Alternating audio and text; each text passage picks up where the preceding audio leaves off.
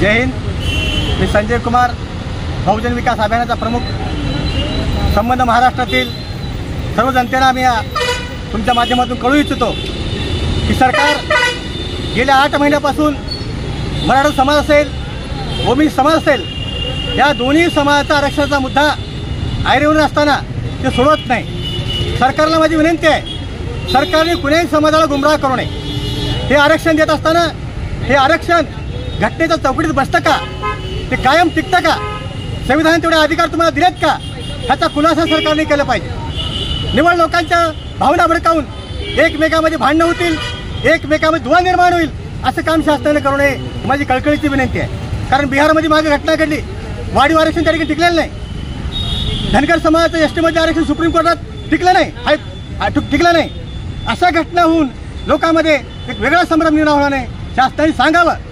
पन्नास टक्केच्या वरचं आरक्षण हे संविधानिक नाहीच आहे. संविधान ते टिकणारच नाही. कारण तो संविधान दिला अधिकारच नाही. डॉक्टर बाबासाहेब आंबेडकरांनी संविधान लिहित असताना पन्नास टक्के आरक्षणाची मर्यादा दिली आहे.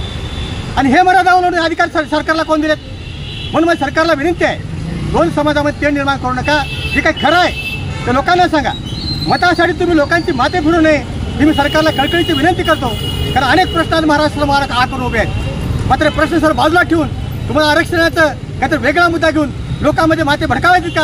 हे मी सरकारला सांगू इच्छितो जय हिंद.